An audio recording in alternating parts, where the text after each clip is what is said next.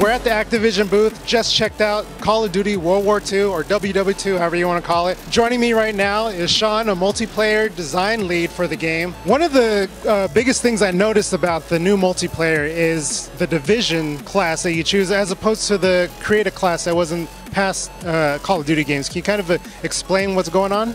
Yeah, so Divisions is is a, a pretty fundamental reimagining of Create a Class for us. So the Pick 10 system is now replaced by divisions. And what we wanted to do is kind of bring some some history into your Create a Class. History is super important to us, obviously going back to World War II. So we want to, you know, incorporate that anywhere we can. So divisions was one place for us to do that. And and also going back to, to kind of Call of Duty's roots and boots on the ground gave us the opportunity to, to really take a fresh look at a lot of those fundamental things. The basic idea behind divisions is you've got your kind of um, quintessential, you know, um, World War II themed divisions that you'd expect to see. You've got your airborne division, your armored division, um, expeditionary force. There's three kind of basic components to it. There's your divisional training, your basic training, and your division weapon skill. And you're able to, you know, kind of mix and match different components of these to, to kind of customize your play style and uh, just take kind of class customization to, to the next step for us.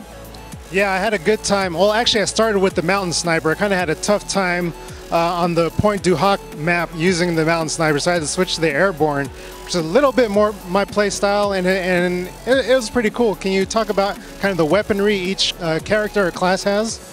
Yeah, so uh, with the divisions, the, the weapon is not um, constrained or, or, restricted by division, but they do have kind of focuses. So your airborne is going to be your SMGs, and the weapon skill there is the ability to, to attach a suppressor anytime you want. You can take it off, put it on, you know, tactically, strategically. Your uh, infantry division now has the bayonet. They're more rifle focused, right? Kind of your, your, your guys out there with the M1 Garands and stuff like that. Uh, and you know, running through the trenches with the with the bayonet charge is a super fun thing to do. Um, the expeditionary, more focused on shotguns, so you've got the incendiary shells there. Uh, and I mean, what better way to make a shotgun cooler than to light guys on fire with it, right? Um, your mountain division more focused on snipers, um, so you've got the sharpshooter ability there, where when you hold your breath, you uh, the the the background kind of narrows in, blacks out on the on the edges. You get the sound kind of ducks down, and you get a little aim assist added, and that's the uh, that's the weapon skill for that. Uh, and then you've got your your armored division, which is a cool one, uh, more focused on heavy weapons, LMGs, explosives, things like that that with your LMG now you can actually go and mount your LMG on any any cover piece or, or just on the ground if you want to. Uh, kind of pull out your bipod and you get a tighter aim, uh, tighter spread. Uh, which is cool just for kind of locking down areas in DOM or, or in war mode. Yeah, that's that's uh, kind of the, the focuses for each of the divisions.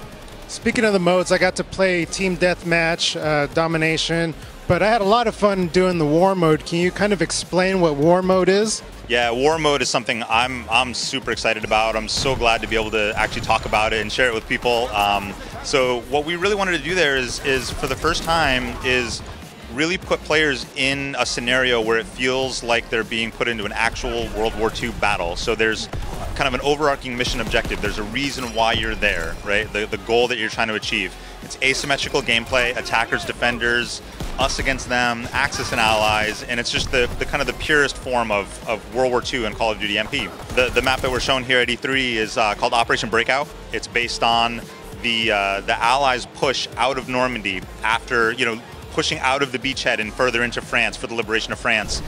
And again, the history is, is really important, so that's based on an actual operation in the war. You know, the primary mission objective in, in this map is to destroy uh, enemy artillery emplacements.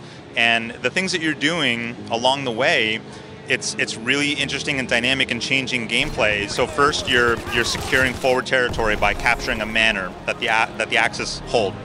Uh, next thing you're doing, you're moving on and, and, building a bridge to allow your armored units to cross and push on uh, further into the uh, the map. Next thing is you're destroying an enemy ammo depot, uh, and then finally you're you're escorting your tank as you go. So you kind of got the, the armored column moving forward with the guys on the flanks, and you can jump in the MG turret on top and, and use that to kind of defend as your units push forward.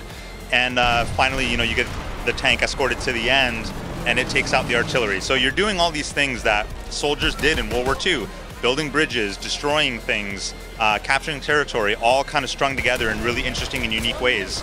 So re really excited about it. It's one of the biggest things that we're bringing to the table this year. Uh, can you talk a little bit about the beta that's coming up? Uh, yeah, so the beta is uh, coming in in August. August 25th, I believe, is, is the date for the beta.